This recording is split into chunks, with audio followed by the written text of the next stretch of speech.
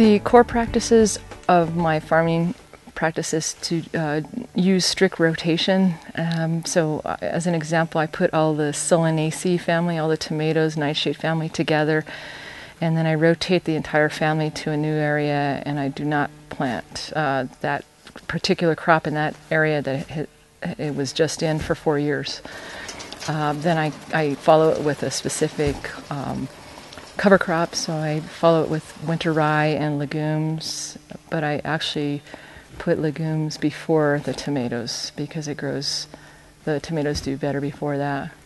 Um, so I, do, I use a lot of cover cropping, and it helps break insect cycles as well. Soil health as a goal was used in my farming because it's a long term goal. It, it's something that'll create uh, resilience in the soil and also um, create a very um, healthy soil ecology, which uh, I don't think a lot of people think about, that there's a lot of things going on underneath the soil. Um, there's a lot of insects and, and um, creatures that need to be under there to, um, to break down, um, you know, all the, all the things that you put in it and everything.